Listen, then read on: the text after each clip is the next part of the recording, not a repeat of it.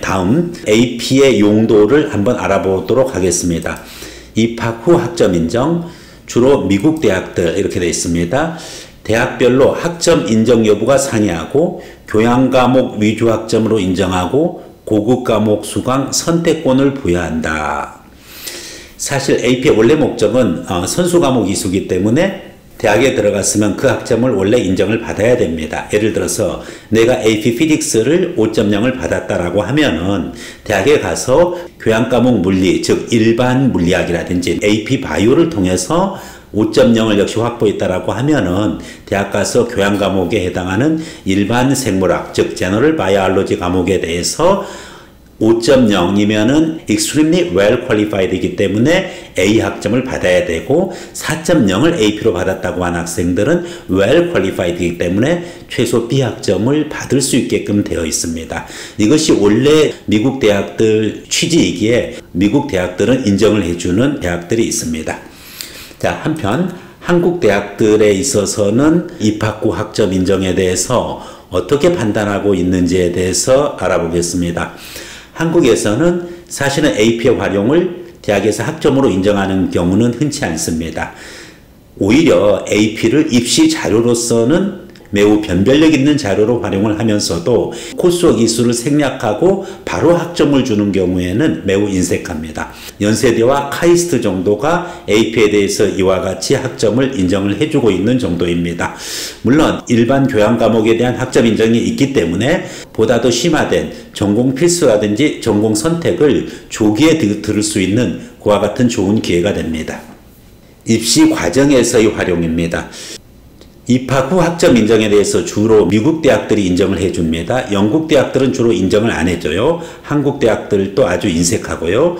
반면에 입시 과정에서는 오히려 영국 대학은 영국 대학이나 한국 대학들 또 아시아 명문대들은 적극적으로 AP를 인정을 해주고 있고 미국 대학은 학점으로는 인정을 하지만은 reference mark, 즉 GPA라든지 SAT, ACT 또는 SAT 2 subject 과목들 기준으로 입학 사정을 하면서 AP를 참고로 해서 평가합니다. AP를 전적으로 의존하지는 않는 부분이죠. 반면에 영국 대학을 한번 보겠습니다. 영국 대학은 오히려 GPA를 반영 안 하는 대신에 AP를 사회 4개 이상 제출할 것을 요구하고 있습니다. 학점으로 인정하는 것은 미국 대학이지만은 입학에서 더 영향력 있게 작용하는 것은 영국 대학들이라고 볼 수가 있습니다. 한국 대학들에 대해서 어떻게 입시에 이루어지는 것은 이 부분 것은 조금 복잡합니다. 한국 대학들 입시가 은근히 복잡하기 때문에 별도로 설명을 드리겠습니다. 다음은 아시아 명문대입니다. 홍콩 대학들, 싱가포르 대학들, 송도에 있는 대학들이 있습니다. 먼저 홍콩에 있는 대학, 홍콩대, 홍콩과기대, 홍콩중문대, 그리고 홍콩시립대, 예, 홍콩교대, 아주 많은 대학들이 홍콩에 있습니다. 주요 메이저 대학 8개를 비롯해 가지고서 20개 이상의 경쟁력 있는 홍콩의 대학들이 있는데 홍콩의 대학들은 영국의 영향을 받다 보니까 고등학교에서 아이비를 한 학생들이 상당수 지원하고 있습니다만은 역시 AP도 동일하게 변별력 있는 자료로서 인정을 해주고 있습니다. 그렇기 때문에 IB Predicted Score를 기준으로 해서 조건부로 입학을 시키는 홍콩대나 홍콩 과기대의 기준이 있는데 IB 38점 이상을 요구하고 있는 반면에 AP는 그와 같은 정확한 가이드라인을 제시하고 있지는 않습니다만은 세 과목 이상 고득점을 기준으로 해서 홍콩대나 홍콩 과기대를 노릴 수가 있습니다. 네, 싱가포르 대학들이 있습니다. 싱가포르 대학들은 어, 싱가포르 국립대 또 난양공대 역시 AP가 변별력 있는 자료로 활용되어지고 있습니다.